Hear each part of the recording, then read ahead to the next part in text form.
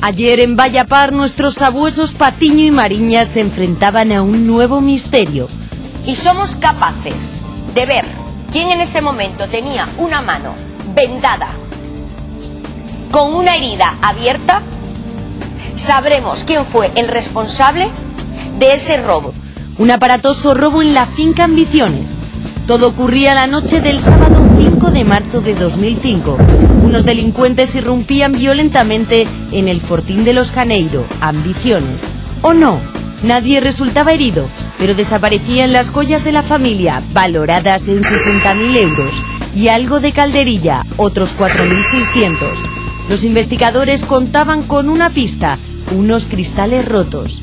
Si nadie entró en la finca, el robo se urdía desde dentro. ¿Quiénes estaban allí? Carmen Bazán, la matriarca, se movía libre de sospecha.